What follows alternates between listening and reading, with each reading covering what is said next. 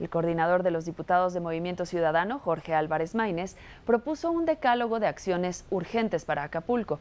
Entre ellas está la instauración de un programa de empleo temporal, construcción de hospitales, establecer un convenio con constructoras para las labores de reconstrucción y también la limpieza, poner en operación de una planta de tratamiento de aguas residuales y un programa de ordenamiento en municipios afectados.